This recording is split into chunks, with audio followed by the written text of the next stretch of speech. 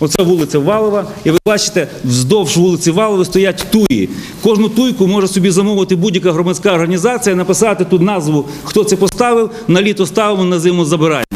Тому фактично через свою мобільність і е, в будь- будь-який момент можна перенести. Ми маємо е, посилення цієї самої екомережі і посилення оковирності і е, покращення екології нашого міста.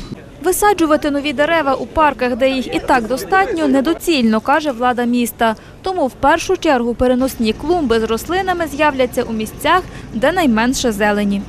Міст біля політеху. Знаєте, це що, що міст. Також ці, туєчки хоче вставити, то що ви бачите. Крім цього, передбачається вулиця Валова, а також розглядаємо пропозиції громадських організацій.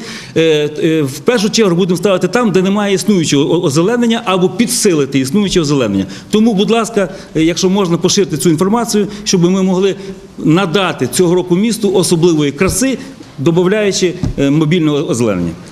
У ящики планують висаджувати переважно хвойні, це туді та ялівець, кажуть в управлінні житлово-комунального господарства, благоустрою та екології Тернопільської міськради. А як подяка за участь в озелененні на рослині прикріплять табличку з назвою тієї чи іншої організації.